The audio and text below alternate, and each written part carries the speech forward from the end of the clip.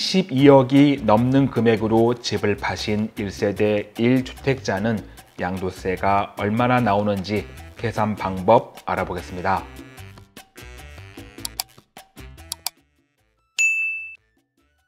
네, 안녕하세요. 박찬웅의 부동산 쇼 부자남 박찬웅입니다. 이번 시간에는 1세대 1주택자가 12억이 넘는 금액으로 주택을 팔았을 때 양도세가 어떻게 계산되는지에 관한 내용입니다. 이번 영상에서는 세 가지를 유념하고 가셔야 합니다. 첫 번째는 이번 영상은 참고로만 활용하시기 바랍니다. 항상 세금은 세무사님에게 직접 여쭤보는 지혜가 필요하고요. 자금 계획을 위해서 대략적인 양도세 금액을 알고 싶을 때 활용하시기 바랍니다.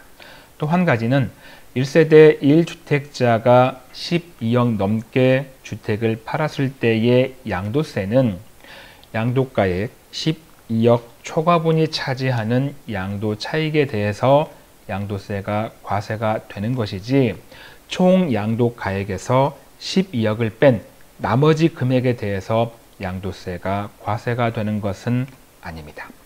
마지막은 거주 기간에 따라 장기 보유 특별공제가 달라진다라는 점이죠.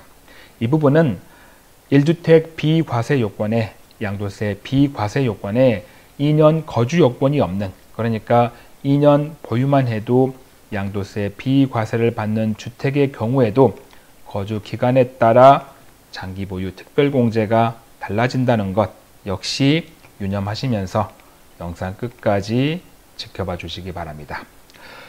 오늘 영상의 자료는 국세청에 올라와 있는 사례로 풀어보는 양도소득세 월간 질의 탑10을 바탕으로 설명을 드리겠습니다. 자료를 보시면 1세대 1주택 비과세 기준 금액을 초과하여 주택을 양도하는 경우 양도세 계산 방법은 이라고 해서 이렇게 실제 사례가 나와 있습니다. 사례를 보시면 2010년 1월 달에 주택을 취득했습니다. 이때 취득가액은 5억에 취득을 했네요. 이렇게 1주택을 가지고 있었는데 2021년 12월 8일 날 개정 규정이 시행이 됩니다. 이때 개정 규정은 뭐냐면 어, 1세대 1주택 비과세 기준이 되는 그 금액이 9억에서 12억으로 올라간 시점입니다. 이렇게 개정 규정이 시행되고 나서 2022년 6월달, 올해 6월달에 이 1주택을 양도할 예정인 거죠. 그래서 올해 6월달에 1주택을 양도한다면 과연 양도세가 얼마나 나오는 것인가의 사례입니다. 참고로 음, 이 주택을 취득할 때는 취득가액이 5억이었고요. 그리고 양도할 때는 15억, 그러니까 15억에 양도할 계획인 거죠. 필요 경비는 5천만 원이고요. 보유 및 거주 기간이 12년입니다. 주택을 취득해서 양도할 때까지 12년 동안 계속해서 살면서 보유를 했다라는 거죠. 자, 이때 이 사례자가 이런 질문을 했습니다. 2021년 12월 8일 이후에 자, 이때 이후에 양도하는 주택부터는 1세대 1주택 비과세 기준 금액이 9억에서 12억으로 올라갔다라고 했는데 본인의 경우에 이렇게 개정된 세법을 반영하면 양도 차익이나 장기 보유 특별 공제 등 양도세를 어떻게 계산하는 건가요? 라고 물어본 거죠. 답은 이렇게 나와 있습니다. 어, 이 부분은 제가 바로 뒤이어서 설명을 드릴 거고요. 음, 개정세법을 적용해서 어, 1주택 비과세 기준 금액이 9억에서 12억으로 올랐으니까 이걸 적용한다면 어, 산출한 양도세액은 424만 5천 원입니다. 라고 되어 있는데 이렇게 글로만 보면 이해가 잘 안 되시잖아요.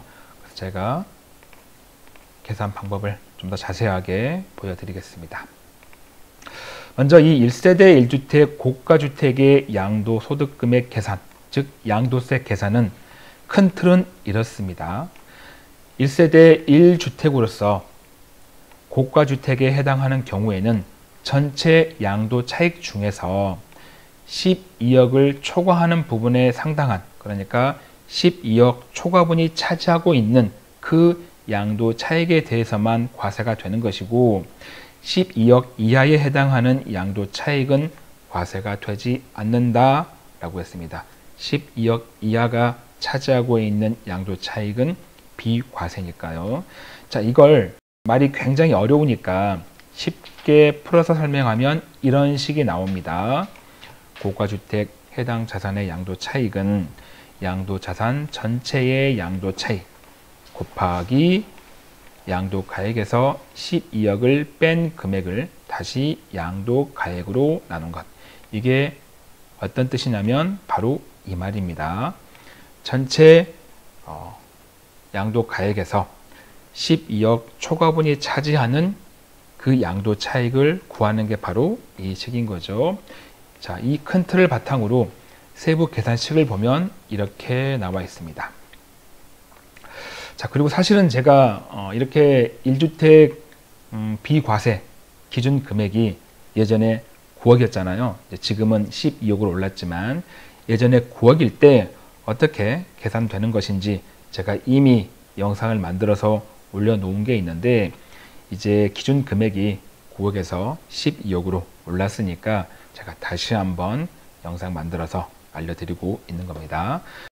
자, 세부 계산식을 보니까 양도가액은 15억이었고요. 취득가액은 5억이었습니다. 그리고 이때 필요 경비는 5천만 원이었죠. 그러면 전체 양도 차익은 9억 5천만 원이 되는 거죠. 왜냐하면 15억에서 5억을 빼고 다시 5억을 빼야 하니까. 그리고 전체 양도 차익인 9억 5천만 원 중에서 비과세 받을 수 있는 비과세 양도 차익은 7억 6천만 원이고요. 과세 대상이 되는 과세 대상 양도 차익은 1억 9천만 원입니다. 이게 무슨 말인지 추가 설명이 좀 필요하겠죠. 전체 양도 차익은 9억 5천만 원이었습니다. 그런데 이 주택은 15억에 양도를 한 거죠. 15억에 팔았죠. 자, 그러면 이 전체 양도 차익인 9억 5천만 원은 0원부터 15억까지 골고루 분포가 되어 있습니다. 이 중에서 우리가 비과세를 받을 수 있는 기준 금액 12억을 놓고 12억 이하가 차지하고 있는 양도 차익 구간, 이 구간은 비과세인 거고요.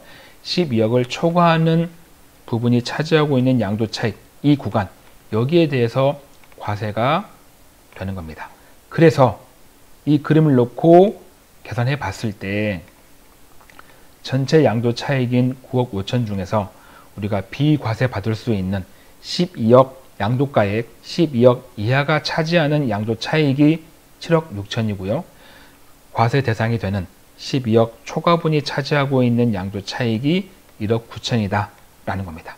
그래서 7억 6천은 양도세가 비과세가 되는 거고 1억 9천에 대해서만 양도세가 과세가 된다 라는 뜻인 거죠. 여기서 이제 장기 보유 특별 공제도 계산을 해봐야 됩니다. 자, 이때의 장기 보유 특별 공제는 80%를 적용받습니다. 근데 어떤 금액의 80%냐면 과세 대상이 되는 양도 차익 1억 9천의 80%를 공제받게 되는 거죠. 왜냐하면 10년 이상 보유하고 10년 이상 거주를 했으니까 최대값인 80%를 적용받게 됩니다. 우리가 1주택자의 장기 보유 특별 공제율을 보면 1년당 거주했을 때 4%씩, 보유했을 때 4%씩. 그래서 1년 최대 8%, 10년 최대 80%를 공제받는 거잖아요. 그래서 이 사람은 10년 이상 거주도 했고 보유도 했으니까 최대값인 80%를 적용받게 됩니다. 자, 그래서 이 1억 9천에서 80%를 공제받은 1억 5천 2백을 빼고 나니까 양도 소득 금액은 3,800만 원이 되고요. 여기에서 다시 기본 공제 250만 원 받으니까 과세 표준은 3,550만 원이 됩니다. 자, 여기에 이제 세율을 곱하게 되는 거죠. 이때 세율은 세율 표를 보니까 3,550만 원이면 이 구간이 되겠죠. 1,200 초과 4,600 이하. 이때 15% 그리고 누진 공제가 108만 원입니다. 이걸 적용하면 산출한 세액은 424만 5천 원이 됩니다. 근데 사실은 이 자료에는 없지만 여기에 추가로 세금이 더 붙죠. 지방소득세 10%가 더 붙습니다. 그래서 이 424만 5천 원에 10%가 더 붙으면 466만 9,500원이 되는 거죠. 자, 이렇게 어, 1세대 1주택자가 주택을 팔았는데 그 양도한 금액이 12억을 초과했을 때 과연 양도소득세는 어떻게 계산되는지 살펴봤는데요. 여기서 어, 우리가 주의할 게 있습니다. 제가 영상 처음 시작할 때 세 가지 말씀드렸잖아요. 그 중에서 두 번째, 음, 12억 초과분이 차지하는 양도 차익에 대해서 양도세가 과세가 되는 것이지 전체 양도 차익에서 12억을 빼고 나머지 금액에 대해서 양도세가 과세가 되는 것은 아닙니다. 제가 이 말씀을 드리는 이유가 실제로 이렇게 5억의 집을 사서 15억의 집을 팔았을 때 어, 일반적으로 어떻게 생각하시냐면 아 12억까지가 비과세인 거고 12억 초과하는 거는 과세가 된대 라는 건 잘 알아요. 그래서 그것만 생각하시고 12억까지는 비과세니까 15억에서 12억을 뺀 나머지 3억에 대해서 세금이 나오는구나 라는 게 아니라는 거죠. 전체 양도 차익에서 12억 지금 사례와 같이 9억 5천에서 그 금액 중에서 12억 초과분이 차지하고 있는 1억 9천에 대해서만 세금이 나온다라는 거고요. 또 한 가지는 어, 앞서 제가 말씀드렸던 그 세 번째죠. 장기 보유 특별 공제율을 적용할 때 거주 기간에 따라서 장기 보유 특별 공제가 달라진다라는 겁니다. 앞서 제가 계산식에서 80% 어, 장기 보유 특별 공제율을 적용했습니다. 왜냐하면 사례자가 10년 이상 거주하고 10년 이상 보유까지 했으니까 최대값인 80%를 적용했는데 이런 표를 적용받으려면 반드시 요건이 있습니다. 어떤 요건이냐면 최소한 2년 이상은 거주를 해야 돼요. 만약 2년 이상 거주하지 않았다면 이때는 1세대 1주택자임에도 불구하고 이 표를 적용받게 됩니다. 그래서 1년에 2%씩 15년 최대 30% 장기 보유 특별 공제율을 적용받게 되는 거죠. 그래서 1주택자는 음, 이렇게 다시 한번 말씀드리지만 1년 보유 4%또 거주 4% 그래서 8%씩 10년 최대 80% 장기 보유 특별 공제율을 적용받으려면 2년 이상 거주해야 되고 3년 이상 보유를 해야 된다는 것 명심하시기 바랍니다. 그리고 이러한 어, 요건은 음, 1주택 양도세 비과세 요건이 2년 거주가 붙지 않은 그러니까 2년 보유만 해도 양도세 비과세를 받는 주택도 해당이 됩니다. 그러한 주택은 이제 비조정 대상 지역에 위치한 주택이겠죠. 자, 그래서 음, 2년 보유만 해도 양도세 비과세는 받지만 만약 그 양도가액이 12억을 초과했다면 그리고 그 금액이 15억, 20억, 30억 양도가액이 비쌀수록 장기보유 특별공제는 해당 집에서 얼만큼 거주했는지에 따라서 그 공제율은 달라지게 됩니다. 만약 2년 이상 거주했다면 이렇게 보유 4%, 거주 4% 이런 공제율을 적용받지만 만약 해당 주택에서 2년 이상 거주하지 않았다면 1년에 2%씩 적용받으니까 양도가액이 클수록 장기 보유 특별 공제액은 크게 차이가 나게 됩니다. 이 부분 명심하시고요.